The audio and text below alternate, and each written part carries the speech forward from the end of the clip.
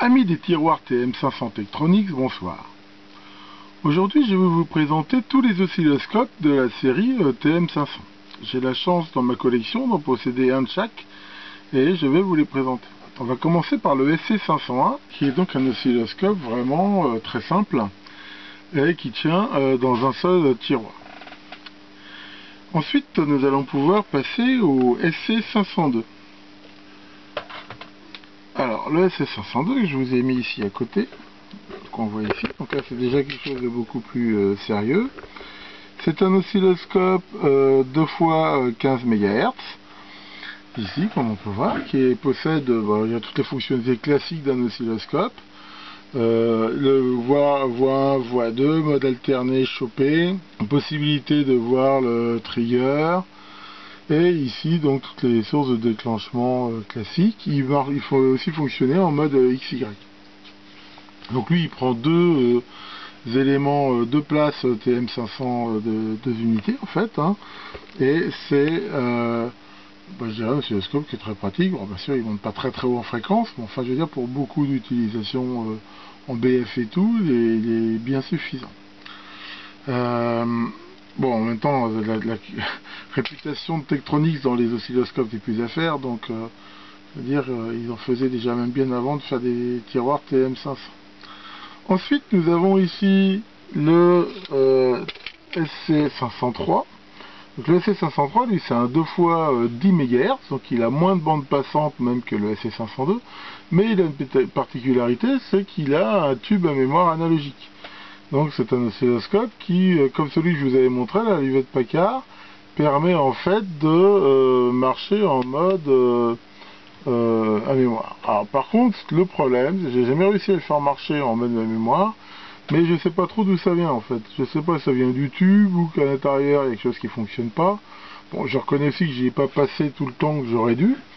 Alors il fonctionne très bien en oscilloscope traditionnel, mais c'est vrai qu'il marche pas en mode mémoire. enfin maintenant avec tous les oscilloscopes digitaux que j'ai, on va dire que j'en ai pas euh, vraiment besoin. Et ensuite le dernier de la série, donc euh, qu'on peut voir euh, ici, c'est le SC504.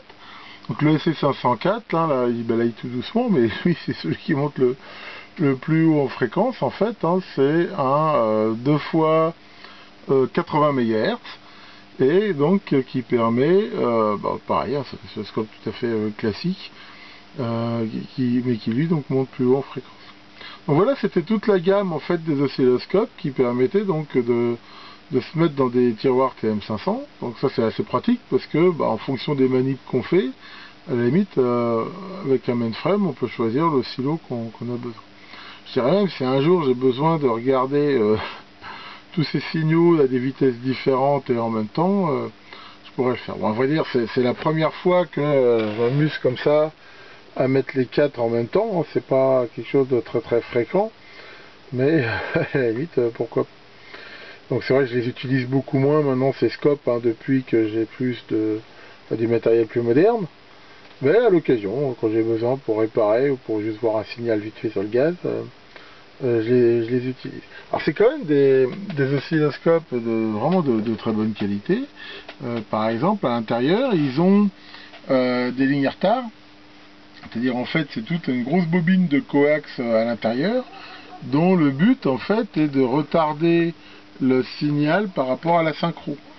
Donc ça, bah, c'est quelque chose qui paraît tout à fait naturel sur les oscilloscopes digitaux de se dire que bah, on voit le, trigger, on voit tout, tout, ce qui se passe avant et après, mais sur les oscillos analogiques, souvent bah, on voit le trigger, on voit ce qui se passe après, mais pas avant.